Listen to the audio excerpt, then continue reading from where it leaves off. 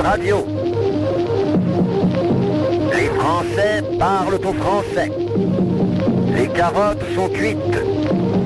Les carottes sont cuites. Sud Radio Berkov dans tous ses états. Une très jolie petite perle, une très jolie petite perle euh, glanée chez Pascal Pro le 25 octobre dernier dans son émission L'heure des pros sur CNews. Il y avait notre, euh, notre ami Vincent Hervouette et puis beaucoup d'autres personnes. Alors, eh, vous savez, c'est très amusant dans les plateaux. On a eu ça aussi, hein. Au moment où quelqu'un dit quelque chose et puis ça jette un froid. Vous allez avoir peut-être quelques secondes de silence, mais vous allez voir pourquoi. Sud Radio Berkov dans tous ses états. Les perles du jour. Bien sûr, vous les femmes, hein, Julio.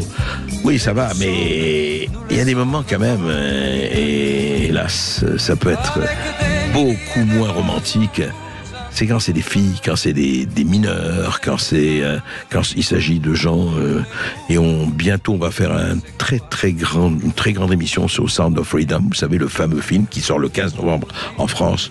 Vous allez avoir une émission spéciale là-dessus et euh, alors avec ces trafics ignobles, ces trafics d'enfants, ces trafics d'organes, ces trafics de d'esclaves sexuels, enfin des choses totalement immondes et qui hélas euh, sévissent au grand jour et je dirais en nombre aussi bien en Amérique du Sud qu'en Europe, qu'ailleurs, euh, et dans les milieux les plus divers, on peut le dire.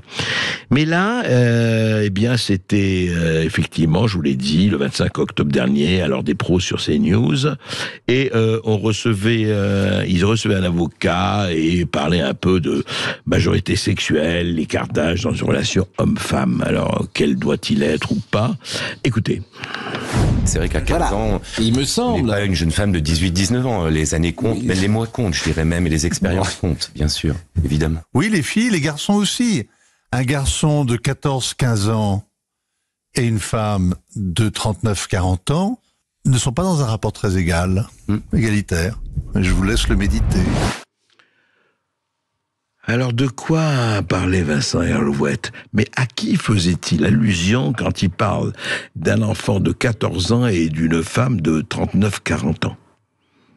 Qui ça peut bien être On sait vraiment euh, gratter euh, la tête là de, qui veut parler et c'était très amusant de voir les autres euh, participants à l'émission qui se grattaient la tête, euh, la tête également. euh, pas un mot, pas un mot. Petit silence. On vous a pas donné silence en radio, mais petit silence de quelques secondes, mais pas négligeable sur le plateau.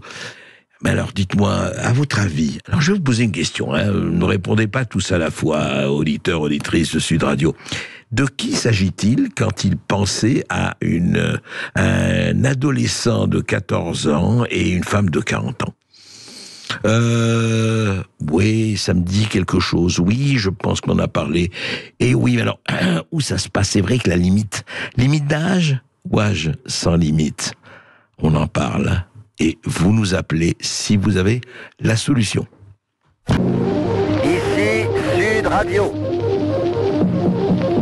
Les Français parlent au français. Les carottes sont cuites.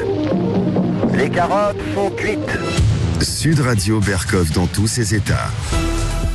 Eh bien, dans tous mes états, mais plutôt des états d'ailleurs euh, assez satisfaits parce que je vais recevoir bientôt Henri Guénaud pour euh, tout de suite. D'ailleurs, à la septième fois, les murailles tombèrent, on va en parler. Mais auparavant, je voudrais vraiment euh, vous faire part de dans cet univers difficile, avec ces guerres, avec tout ce qui se passe, avec cette montée des tensions euh, presque intolérables. Et bien qu'il y a quelqu'un qui a compris, qui a pris le large et qui est parti à Tahiti. Sud Radio Berkov dans tous ses états. Qu'est-ce qu'on serait bien, les vainés, les fruits, l'océan, vraiment magnifique. Et qui a compris ça? Eh bien, Anne Hidalgo. Anne Hidalgo, n'écoutant que son courage et son professionnalisme, est partie visiter le site qui accueillera les épreuves de surf pour les Jeux Olympiques de 2024 en Polynésie. Évidemment, rien de plus urgent eu égard à la situation que d'aller visiter le site qui accueillera les épreuves de surf pour les Jeux Olympiques en Polynésie. Évidemment, c'est une urgence absolue.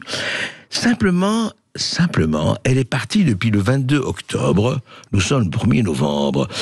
On pensait qu'au bout de 48 heures, euh, elle avait pu visiter le site et s'enquérir euh, des limites et des choses à faire. Oui, mais euh, voilà, elle est partie et elle n'est toujours pas rentrée. Mais Anne Hidalgo, on a besoin de vous à Paris. Vu les extraordinaires avancées que vous avez fait sur la capitale, on a besoin de vous. Non, on ne l'a pas aperçu depuis deux semaines. Alors, au voyage officiel qui allait du 16 au 21 octobre, donc, elle est rendue à Tahiti le 16 octobre. Visiter le site. Et puis, le 22 octobre, elle devait rentrer.